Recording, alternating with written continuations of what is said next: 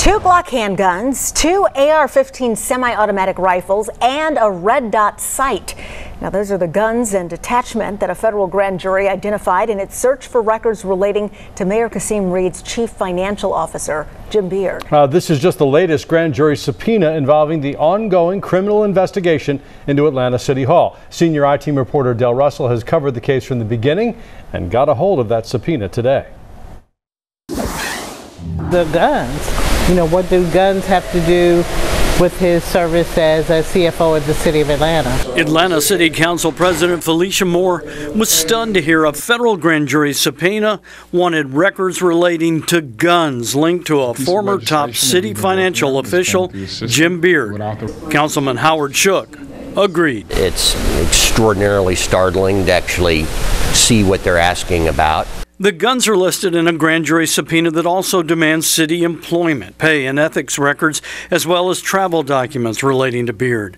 The subpoena requested records relating to a Glock 19 assigned to Beard, as well as a Glock 43, an AR 15 semi automatic rifle, and a micro T2 sight. An Atlanta police spokesperson said police never assigned a gun to Beard.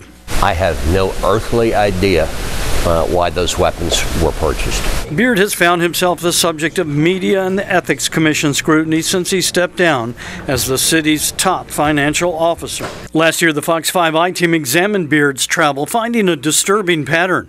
We found he paid for first class style plane tickets, like $9,500 flight to Beijing and $14,000 business class flight and hotel to Amsterdam for two city employees and lavish hotel expenses, like $10,000 for the Shangri La, seen here on this webpage in Paris. Last year, Beard repaid taxpayers for the Paris hotel after local news organizations requested the records through the Open Records Act premium domestic and international travel, hotel, retail, and other potentially unallowable expenses. The City Ethics Board opened an investigation and recently found 37 questionable expenses totaling $98,000 in former CFO Beard's city credit cards. The board voted to send the case to an enforcement hearing where Beard could face stiff financial penalties.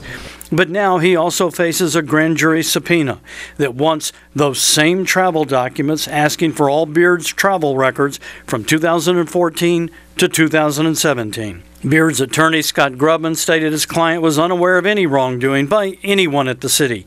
Grubman also wrote, after over a year of overturning every rock and sorting through every haystack, the government has been unable to uncover one single piece of evidence against Mr. Beard. It's depressing. It's uh, you know, it's just another tick of the federal clock, and you just wonder when midnight's going to come.